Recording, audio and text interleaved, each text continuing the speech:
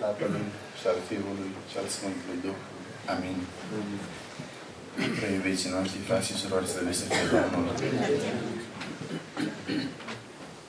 Suntem uh, în locul acesta din Darul lui Dumnezeu, în ziua aceasta, pentru că în dragostea Lui ne-a trimis pe fiecare de la casele noastre să ascultăm Cuvântul lui Dumnezeu atât de dimineață cât uh, și în după amiaza aceasta și așa cum spunea frații mai înainte, suntem cei mai datori să-i mulțumim lui Dumnezeu pentru că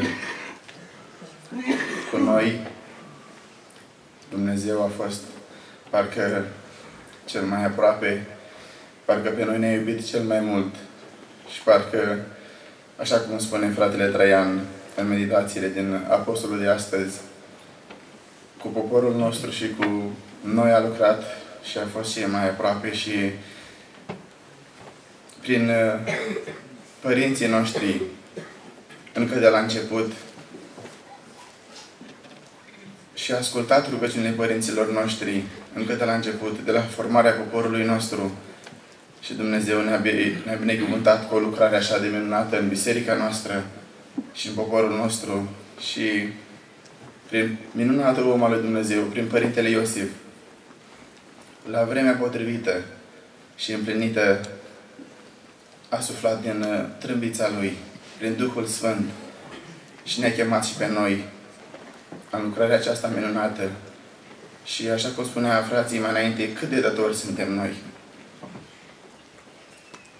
Spunea frații despre creștinii noștri, despre frații noștri care suntem de dimineață la Sfânta Biserică. Ei vor fi judecați pentru cât au cunoscut Cuvântul lui Dumnezeu, pentru cât li s-au spus, atât vor fi judecați ei înaintea lui Dumnezeu. Dar noi, câte cuvinte n-am auzit? Câte mărturisiri în locul acesta? Și cât de datori suntem și noi să împlinim Cuvântul lui Dumnezeu și așa cum uh, ne învață Cuvântul lui Dumnezeu astăzi prin Evanghelie, să aducem pe cei dragi ai noștri la Domnul. Prin dragostea lui Dumnezeu, pusă în inimile noastre, să putem, tot cu ajutorul Dumnezeu, să trăim o viață frumoasă. Prin purtarea noastră, prin umblarea noastră, prin vorbirea noastră și ceilalți de lângă noi să poată să spună. Și poate, să poată să vină și ei să vină la Domnul. Dar de multe ori viața noastră este așa departe. De multe ori umblarea noastră este ca și a lor. Și de aceea, cum ucenicii n-au putut astăzi să facă vindecarea, nici noi de multe ori nu putem să facem lucrul acesta. Și ne doare așa de mult Și cum vom răspunde noi înaintea lui Dumnezeu? Pentru că am avut parte de o chemare așa de minunată. Cunoaște mult din Cuvântul lui Dumnezeu. Și atât de puțin împlinim.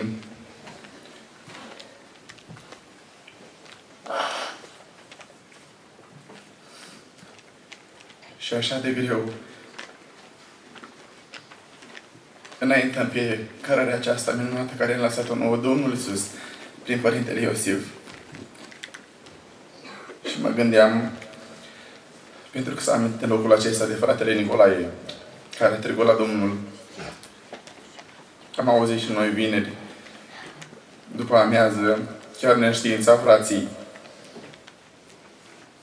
Și amânarea aceasta este de la cel Viclean, Poate am fi putut să lăsăm la o parte, să dăm la o parte din treburile noastre care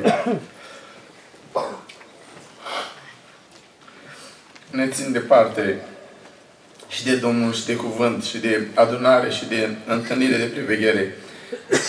și am zis, am amânat. Am zis că poate să mă facem un privei. De ce spun lucrul acesta? Că mă doare sufletul. A fost un frate scump Așa l-am văzut eu. și n-am putut să împlinesc. Mi-am dorit așa de mult. Spun aceasta pentru o întărire a noastră, fiecăruia. Cred că mulți simt la fel cu noi. Și am zis că poate se mai face un priveghi sâmbătă seara și că am auzit, am auzit vestea că sâmbătă are înmormântare, are loc înmormântarea. Așa o jale. Ne-a cuprins sufletul și am zis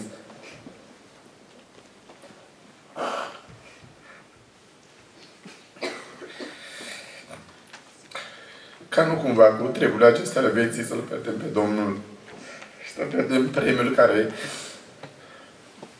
ne s-a promis nouă fiecăruia.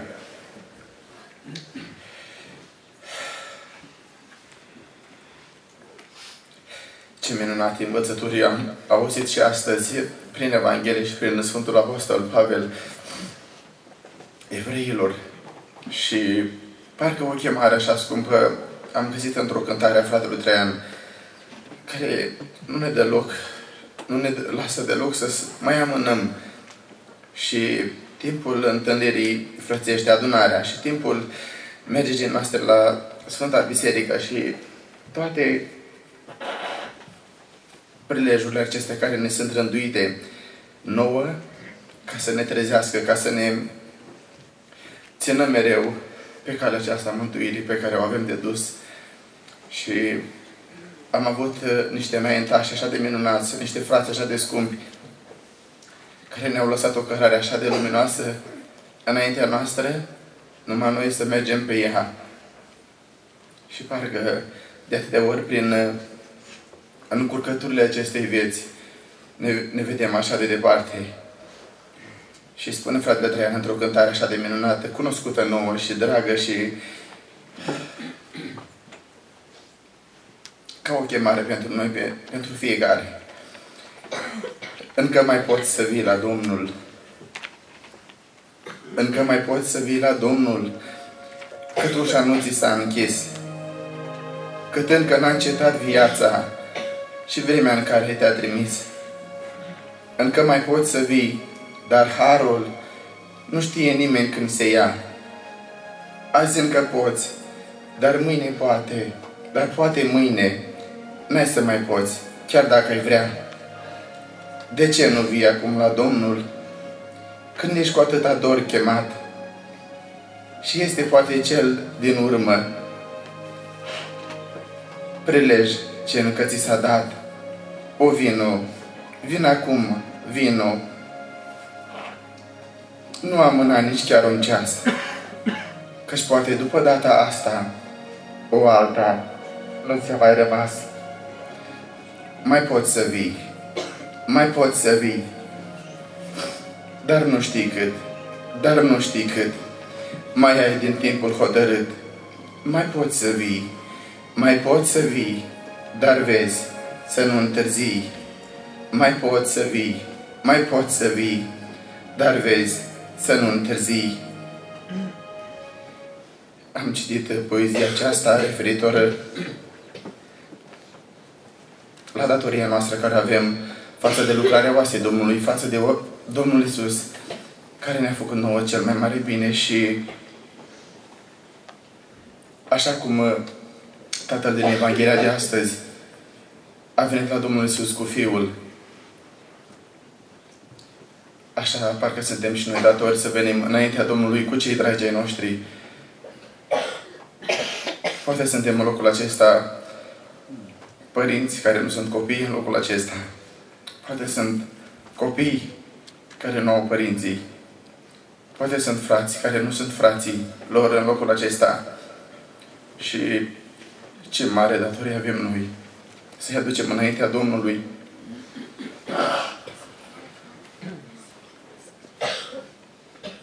Numai Domnul Iisus poate să îi izbăvească pe toți de orice putere a întunericului. Dacă și noi am venit la Domnul Isus, am auzit cuvântul mai înainte, deci nici ucenicii n-au putut să facă lucrarea aceasta până nu a venit la Domnul Isus. Și noi la fel, preiubiții noștri, frați și surori, inima noastră dorește de multe ori ca pe cei dragi noștri să-i aducem la Domnul. Dar dacă noi nu suntem întorși cu adevărat la Domnul și dacă viața noastră nu corespunde și nu avem asemănări cu Domnul Isus, nu avem nicio putere. De aceea să rugăm pe Domnul Isus ca El să ne dea putere, să rămânem cu El și să trăim o viață așa cum ne dorește El. Și apoi roadele cred că nu va întârzia să vină în viața noastră și în umblarea noastră. Domnul Isus să ne ajute la toate acestea și să facă El ca dorința noastră să fie mereu mai aprinsă după El, mai aprinsă pentru cei dragi ai noștri și atunci bucuria noastră și întâlnirea noastră și plecarea noastră din lumea aceasta să fie cu, cei, cu toți cei care Domnul ne-a lăsat în lumea aceasta. Amin. Slăvit să fie Domnul. Nu Tatălui și a Fiului și a Sfântului Amin.